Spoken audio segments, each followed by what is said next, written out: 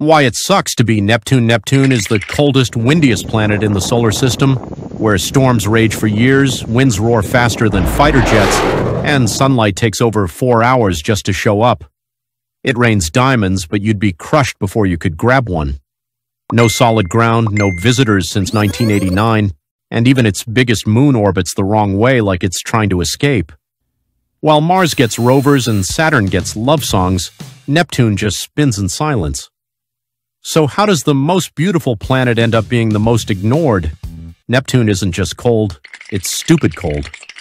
We're talking about a planet so far from the sun that the sunlight takes over four hours just to get there. Think about that. You could watch an entire movie, make popcorn, scroll through your phone, and the light from the sun would still be on its way. That's how deep into the solar system Neptune lives. And because it's sitting out there in the icy suburbs of space, the average temperature is a jaw-dropping negative 373 degrees Fahrenheit. That's just a few degrees above absolute zero, the point where atoms basically stop moving. This isn't hoodie weather, this is your atoms might give up weather. It's colder than anywhere you can possibly imagine on Earth, even Antarctica. In fact, compared to Neptune, Antarctica looks like a tropical getaway. But the chill isn't the only problem. Neptune's weather is a full-blown cosmic nightmare. This planet holds the title for the fastest winds in the entire solar system. These winds can reach speeds of up to 1,300 miles per hour. That's faster than a fighter jet, faster than a speeding bullet, faster than your sibling running to snitch on you, it's the kind of wind that doesn't just mess up your hair, it would rip your entire face off. And unlike Earth storms that might last a few hours or days, Neptune storms go on for years.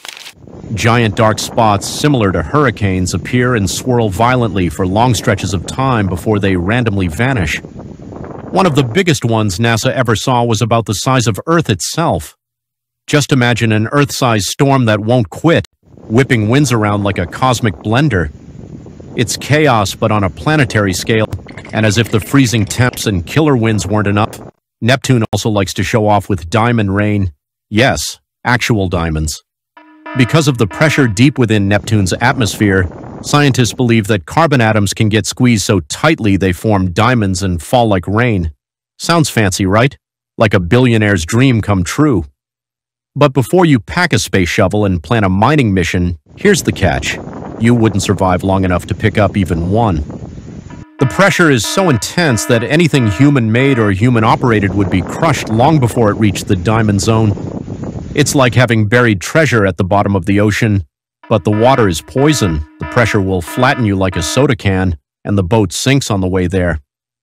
Neptune is beautiful, no doubt about that. It's got that rich blue color, soft cloud bands, and a mysterious glow, but don't let that cool vibe fool you. Beneath the calm surface is a violent, freezing world that would destroy anything from Earth in seconds. It's the solar system's ice-cold heartbreaker, silent, distant, and completely unforgiving. The sun basically treats Neptune like it forgot it ever existed. While planets like Mercury and Earth are basking in warmth and soaking up solar attention, Neptune's out there, alone, freezing, and barely getting noticed. To put it into perspective, Neptune only receives about one nine hundredth of the sunlight that Earth does. That's not just a little less, it's almost nothing. It's like being at a party where the DJ only plays your favorite song once at the very end, after most people have already left. The sunlight that powers life on Earth, grows plants, and keeps everything from freezing solid? It takes over four hours to reach Neptune. By the time it gets there, it's so weak and stretched out, it's like getting a flashlight beam from across an entire football field. Neptune is stuck in what you could call the solar system's suburbs, way past the inner circle where all the fun happens. It's cold, dark, and lonely. And the sun, it's too busy flirting with planets closer to home. Mercury gets scorched with heat. Venus and Earth are practically glowing with solar love. Even Mars, dusty and dry as it is, gets more sunlight and more attention. Meanwhile, Neptune's out there waving from the edge trying to get noticed like the quiet kid at the back of the class, and the sun isn't even glancing its way. That sunlight Neptune does receive, it's not even enough to power a decent solar calculator, let alone fuel anything close to warmth or growth. You'd think that with all its mystery, color, and power, someone would care enough to pay Neptune a visit. But no, The only space mission to ever get close was Voyager 2, and that happened back in 1989. It didn't land, didn't orbit, just flew by, took a few pictures, and moved on. That's like someone showing up for five minutes at your birthday party, snapping a selfie, and leaving before the cake is cut. And that was over 35 years ago. Since then, nothing. No rovers, no orbiters, no second dates. Neptune's basically been ghosted by NASA ever since. Meanwhile, other planets are practically celebrities. Mars has been crawling with rovers for years. It gets shiny new missions, helicopters, live streams. It's the popular kid in the space club. Saturn had an entire love affair with the Cassini mission. That spacecraft spent 13 years orbiting the gas giant, sending back breathtaking photos and gathering valuable data. Even Pluto, which isn't even considered a planet anymore, got a close-up with New Horizons. Asteroids, literal space rocks, are getting more attention than Neptune. Missions are landing on them, drilling into them, bringing pieces back. All while Neptune waits silently in the dark like, hey, remember me? It's not like Neptune doesn't have anything interesting to offer. It has insane weather with the fastest winds in the solar system. It rains diamonds. Its atmosphere is wild, made of hydrogen, helium, and methane, and it's deep blue for a reason. It has 14 moons, including Triton, which orbits the wrong way and might crash into Neptune one day. This planet is like the perfect mystery novel, dark, intense, and full of surprises, but no one's reading it. Part of the problem is the distance. Neptune is really, really far away. Sending a spacecraft there takes years, even decades, and the cost is enormous. It's not a quick trip like Mars. But still, it feels unfair. With all we spend on exploring space, you'd think someone would make room in the budget to give Neptune the attention it deserves. Scientists agree it holds clues to the formation of our solar system, planetary weather, and maybe even new physics. But for some reason, it's always last in line.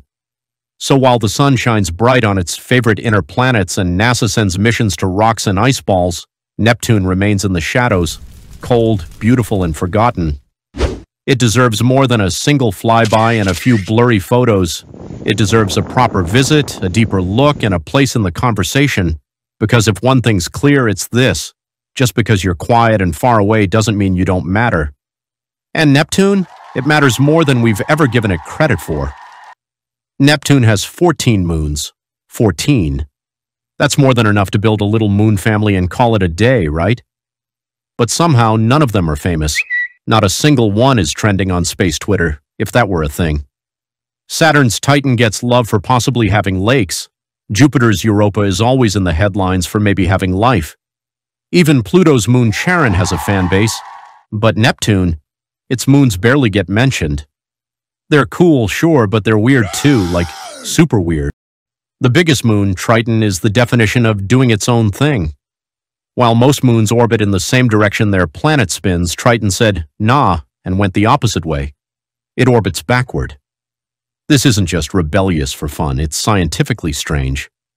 That backward motion tells scientists something big. Triton probably wasn't born around Neptune at all.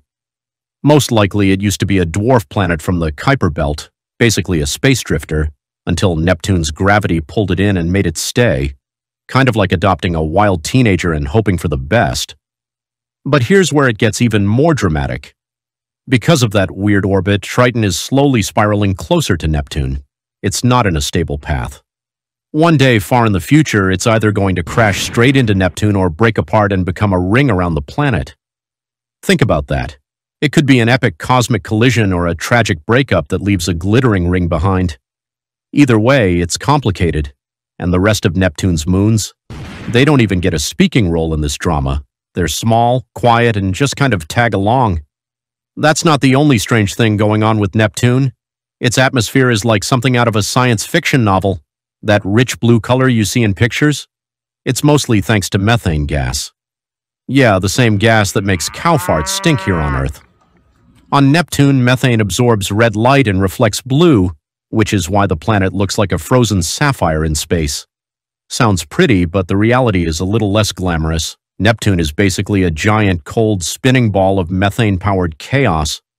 And the chaos, it's wild. Neptune has the fastest winds in the entire solar system. They blast across the planet at over 1,300 miles per hour. That's faster than most fighter jets. These winds power storms so massive they make Earth's hurricanes look like light breezes. Neptune's storms are huge, some the size of Earth itself. And they don't just blow over after a day, they can last for years. Inside these storms, there's lightning, ice clouds, and layers of gases swirling in every direction. It's like the whole atmosphere is throwing a never-ending tantrum. Scientists still don't fully understand how Neptune gets that much energy out there, so far from the sun, but it's clear the planet's weather doesn't mess around. And if you're thinking of ever visiting Neptune, don't. You can't even stand on it. There's no ground, no surface to land on, no place to plant a flag. If you tried, you'd just fall endlessly through layers of gas, chemicals, maybe even a liquid ocean of ammonia or methane, and then you'd get squished, crushed by pressure so intense it makes the bottom of the ocean look like a pillow. The deeper you go, the worse it gets. Scientists think Neptune might have a rocky core way down there, but reaching it would be like trying to swim to the center of a black hole. Good luck with that. So, what are your thoughts on this? Let us know in the comments below.